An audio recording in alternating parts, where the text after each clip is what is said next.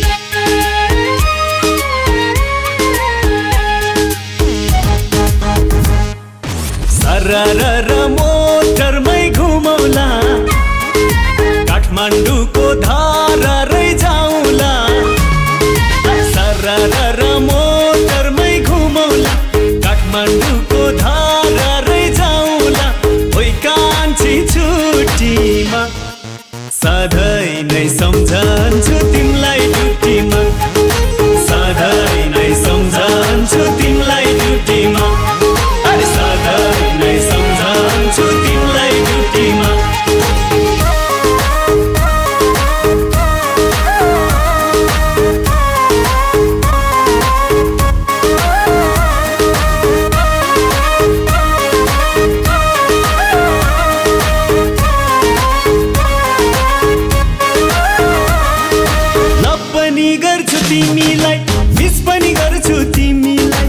घाँस र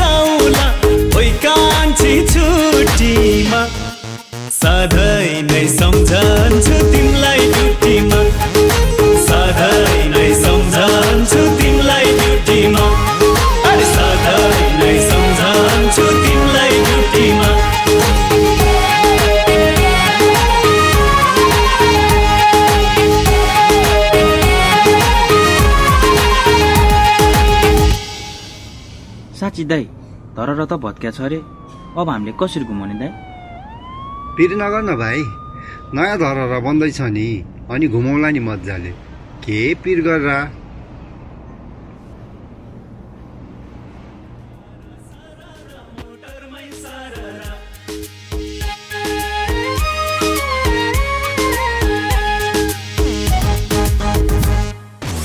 सरर मोटरमै